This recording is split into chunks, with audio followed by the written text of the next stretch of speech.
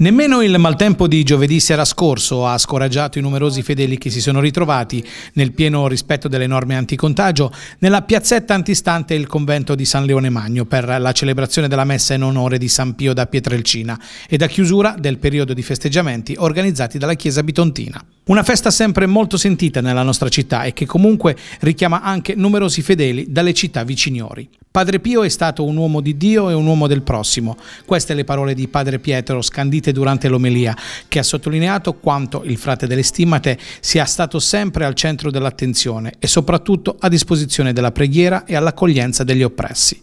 Un accorato discorso carico di commozione ed emozione, nella quale ancora una volta ha voluto sottolineare come la nostra fede sull'insegnamento del frate Cappuccino sia una fede fragile e debole, perché non abbiamo la capacità di andare al di là di quello che veramente si mostra davanti ai nostri occhi.